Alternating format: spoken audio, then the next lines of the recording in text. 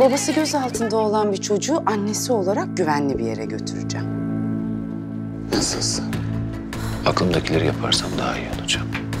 Ne var aklında? Ne yapıyorsun lan sen? Ha? Bırak lan! Velayet davası için kullanacak bunları. Ya hayır ya. Hayır. Bitti artık de ben artık senin gözüne baktığımda sana baktığımda hiçbir şey hissetmiyorum kızım. Ben artık bir şey bir şey söyle Ömer.